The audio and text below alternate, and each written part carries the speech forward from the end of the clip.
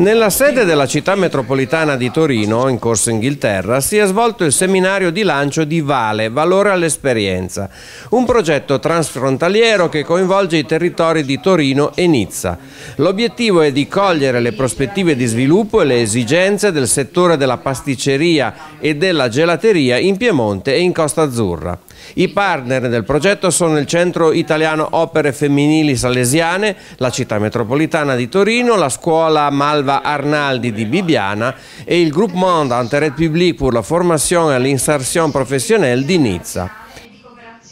Il progetto prevede sei percorsi formativi destinati a 90 giovani e adulti, suddivisi fra il versante italiano e il versante francese. L'obiettivo di fondo che abbiamo e che abbiamo condiviso con i giovani è di lavorare non solo su un prodotto ma su un processo e su una cultura della gelateria e della pasticceria. Intanto sicuramente i giovani chiedono lavoro,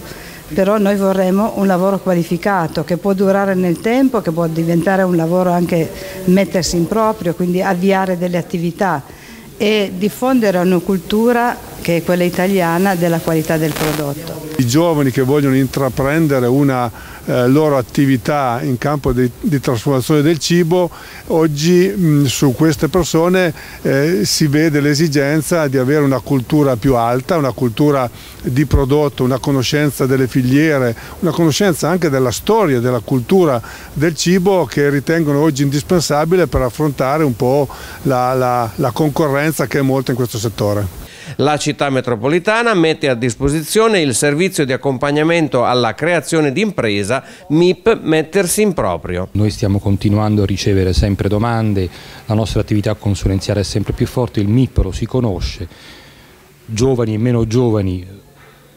chi per, eh, per innata voglia imprenditoriale, chi perché costretto comunque eh, si presenta nel, nei nostri centri e soprattutto in città metropolitana per chiedere quell'attività consulenziale che gli permetta di creare un'attività imprenditoriale sul nostro territorio. Noi ci inseriamo in questo progetto di formazione che è da un lato molto innovativo perché riconosce delle competenze proprie delle persone e eh, molto legato alle produzioni tipiche, alle risorse del territorio, affiancando questo percorso di formazione con un'attività propria di accompagnamento alla creazione di impresa. Quindi questi ragazzi che avranno la possibilità di avere una formazione innovativa avranno anche una formazione specifica sull'avvio di impresa legato al territorio e alle produzioni tipiche locali.